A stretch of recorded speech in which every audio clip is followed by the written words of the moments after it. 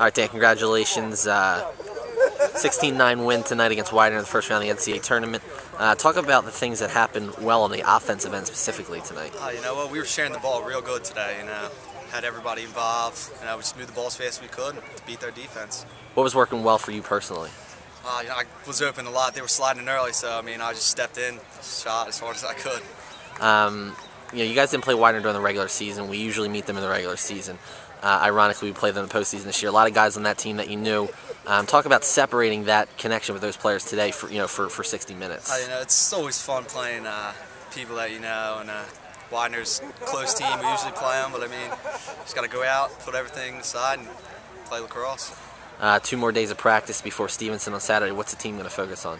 Uh, we got to focus on, I don't even know, stopping Stevenson's offense. A very high-powered offense, you know. We just got to stop them and keep our offense moving. Thanks, Dan. Thanks.